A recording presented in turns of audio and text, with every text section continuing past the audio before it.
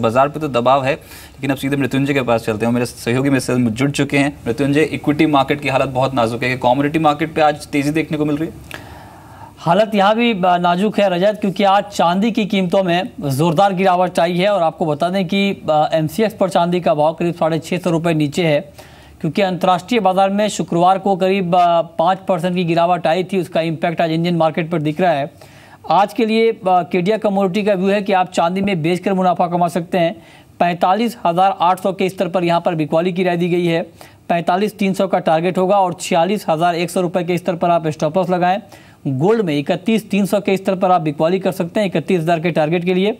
और कच्चे तेल में भी लगातार गिरावट है क्योंकि ग्लोबल मार्केट में लगातार सप्लाई बढ़ने की खबरें आ रही हैं। आज के लिए तीन हज़ार चालीस के भाव पर बिकवाली की कॉल है टू नाइन सिक्स ज़ीरो के टारगेट के लिए। और इसके अलावा एग्री में अगर आप ट्रेड करना चाहते हैं तो पैंतीस सौ चालीस के भाव पर आप बाई करिए। छत्तीस सौ चालीस का टारगेट होगा, लेकिन पैंतीस सौ के भाव पर आपके लिए स्टॉप लॉस लगाना ज़रूरी है।